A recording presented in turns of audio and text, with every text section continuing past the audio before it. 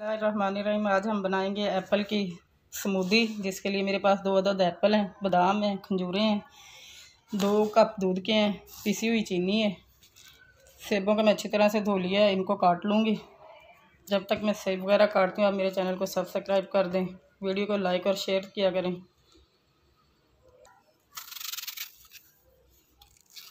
इस तरह से सेब को काटेंगे।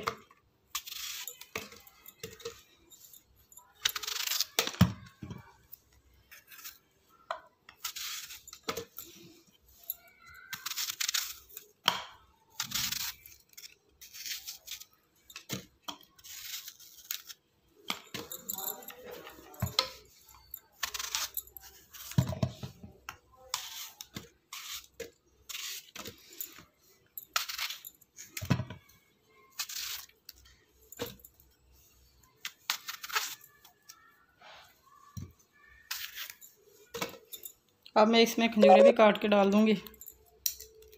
गुटली निकाल लेंगे। बहुत ही मज़ेदार स्मूदी तैयार होगी।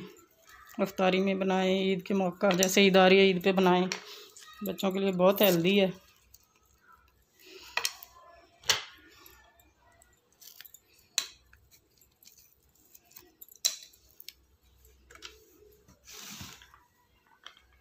दो तीन बादाम वैसे डाल देंगे। दूध डालूँगी इसमें।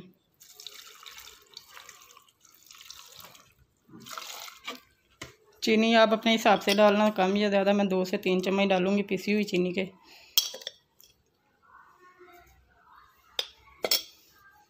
अब मैं इसको ब्लेंड कर लूँगी अच्छी तरह से।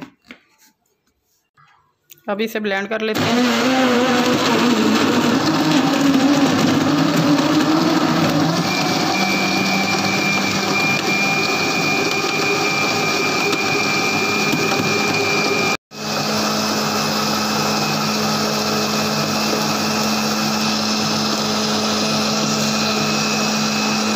मैं इसको अच्छी तरह से ब्लेंड कर लूँगी, बर्फ़ भी डालेंगे इसके अंदर ही।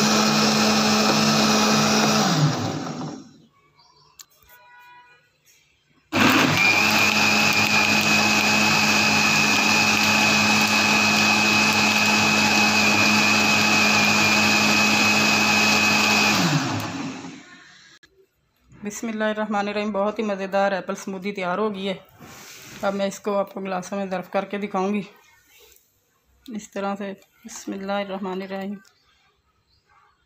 अल्हम्दुलिल्लाह, बहुत ही मज़ेदार सेब की स्मूदी तैयार हो गया इसको अफ्तारी में बनाएँ चैनल को सब्सक्राइब करें दुआ में याद रखा करें। बहुत ही मज़ेदार तैयार हो गई है स्मूदी।